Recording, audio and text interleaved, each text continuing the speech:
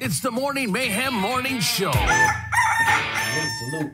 We are here with the homie Shane Sparks in the building. Let's go, let's What go. is going on, Let's man? go, What let's go. up? Shane Sparks, man, salute to you, salute Yes, to you. man. Good morning, fam. Good Good, morning. morning, What's up with you? Good morning. Everything is amazing. I'm very, very happy to be here. I love Vegas.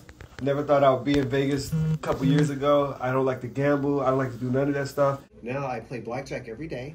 Nice, nice, nice, nice, nice. Okay, it happens. It happens. We Hey, going. DJ Bad Girl. Yes, sir. Yes, sir. Yes, sir. You Yo, see shout it? out to DJ Bad Girl. 22.3, right? Yes, Yo, sir. Let's go. It's your Let's boy get Shane. We in Vegas, the hottest place in the world to be. And um, I just love it. It's very peaceful, man. And like all the stuff that's going on in the world, I swear to God, I got a piece of land where I live at where that's just like we were just talking about. It's just Right. amazing. that We just sit in the house and we go outside our front yard. There ain't no drama, no nothing. I don't know nobody. you know what I mean? Exactly. Gotta go love out that. in sweats and not. Hey, didn't you? No, I don't get that. No more So- drama.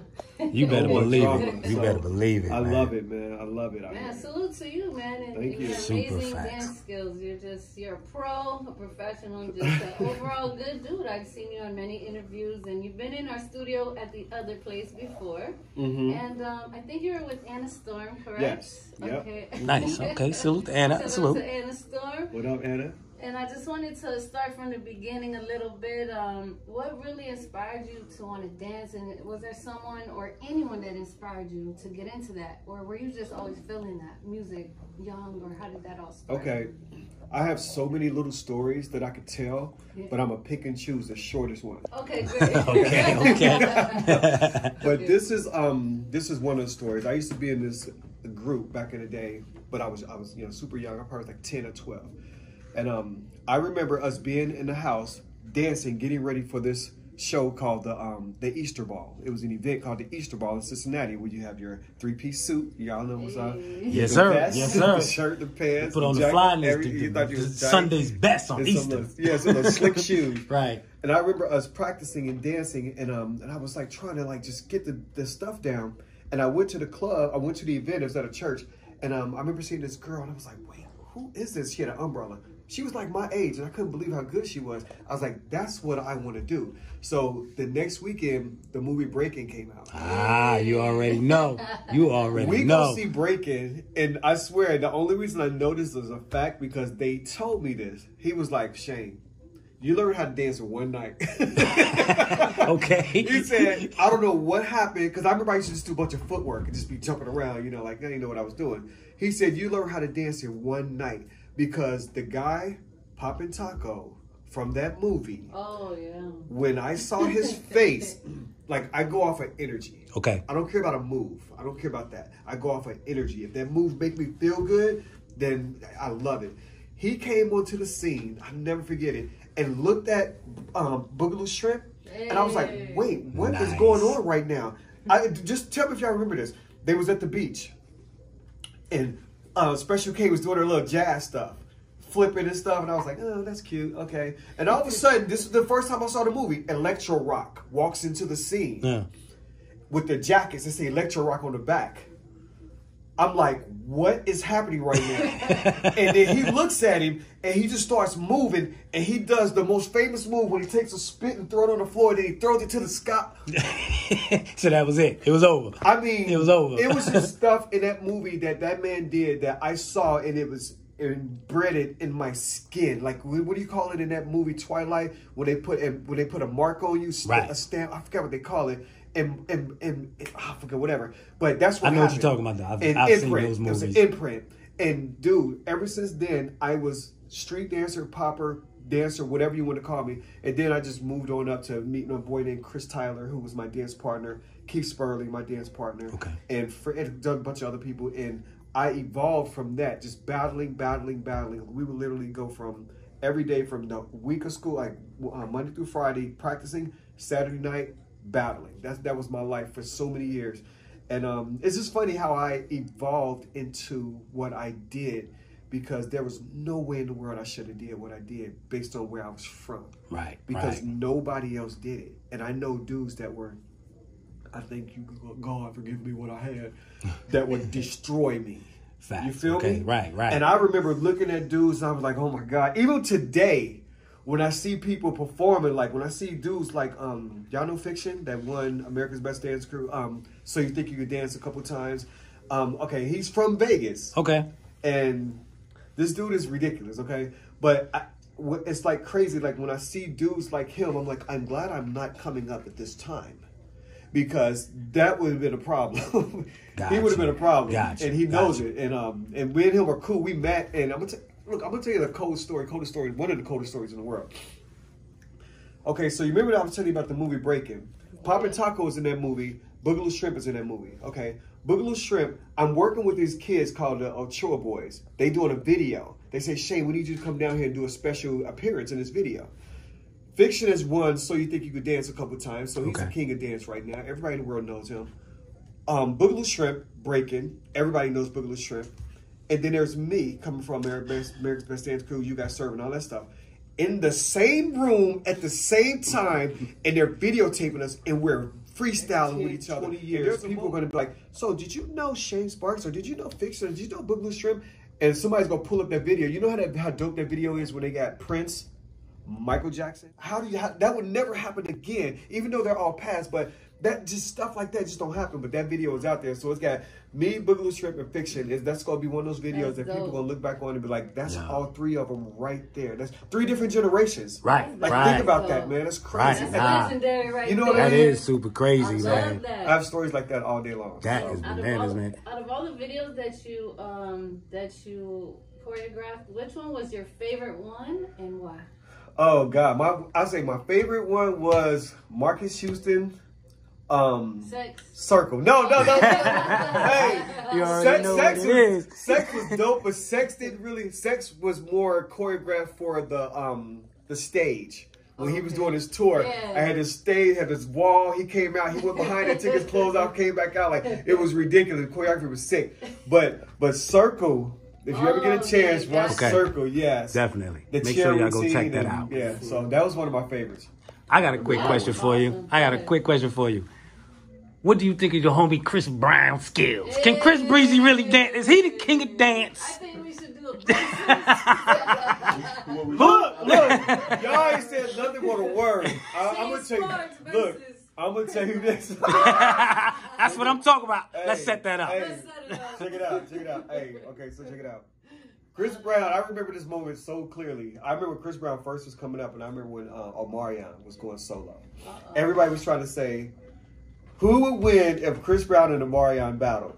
Oh shoot. Me, I was Omarion fan, so it wasn't that I was biased. I just know that Omarion will destroy him at that time. Okay, at okay, that time. okay. At that time, remember this was back in the day when Chris was just coming out. I had just did you got served with Omarion. Right, Oh, facts. okay, so So facts. think about the energy. Yes, Omarion yes, was the king at that time to me. Definitely. And every dancer that knew Omarion was like, there's not too many dudes that can mess with him, and he's just a he's an artist. You Nah, feel me? O was nice. O was yeah, nice. O was sick. Okay, but then I don't know what happened.